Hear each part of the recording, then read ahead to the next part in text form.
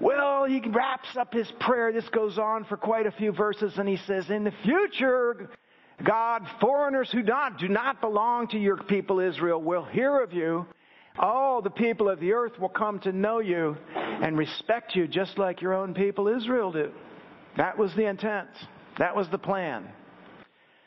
God wanted the people of Israel to be his followers, and then he would bless them, and he said, then all the nations around will watch and see that following God is a good idea because, you know, it's like really works out. And you get blessed. And then they would believe in God too. They would say, well, Israel's God must be the true God. And didn't work out that way a lot of the time. As a matter of fact, all of the things that he prays about happen and this whole book is kind of written uh, several hundred years later after this temple that they had built had been sacked, burned, pulled down, and destroyed.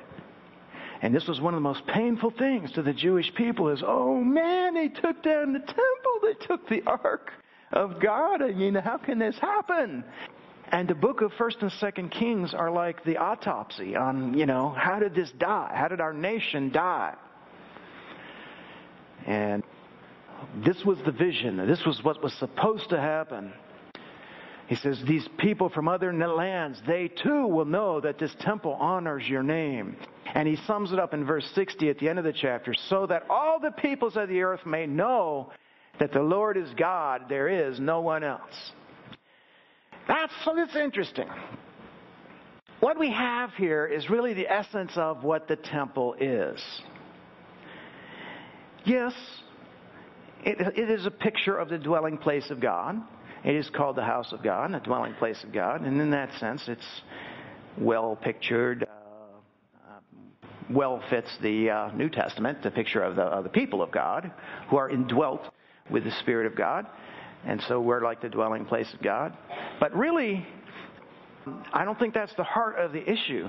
The main thing, and, and what comes across in, in Solomon's prayer here, is that the temple is not mainly just the dwelling place of God, it is a statement. It is actually a testimony. It's supposed to be, it's supposed to teach something. People come to the temple to learn what God is like, to learn how they can get in with God, how they can be accepted by God. And that's what the temple's supposed to do. So also that part fits perfectly with what the temple has become in our day, the body of Christ.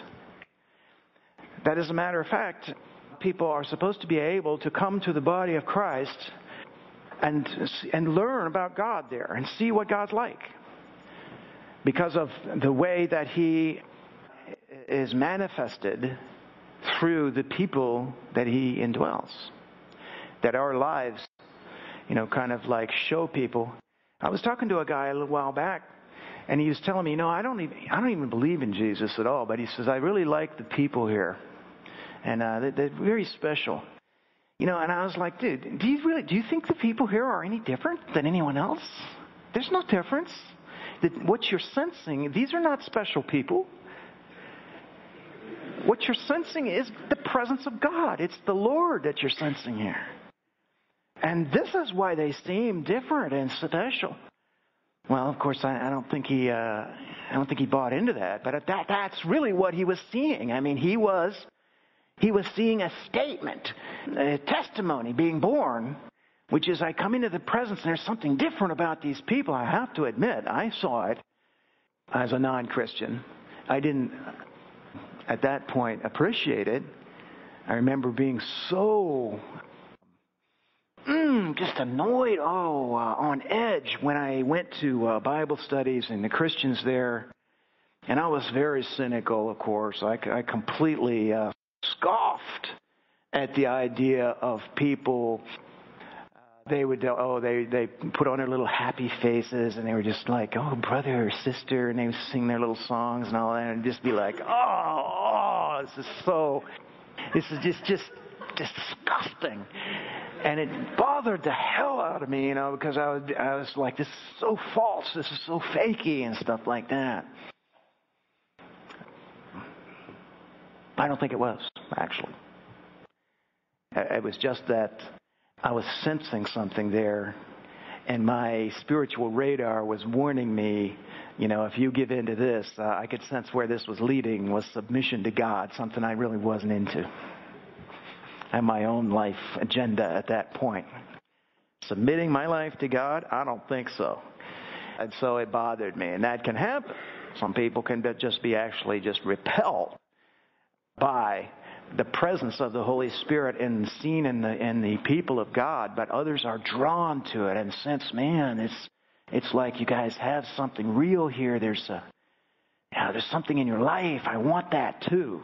And that's exactly what should be happening because the temple is is supposed to declare the reality of God all the way to the ends of the earth so that all nations will, will uh, know him, as he says, that the Lord is God and there is no one else up here. He's, he is the only one here. He's the only real and true living God. And there you have the significance of the temple.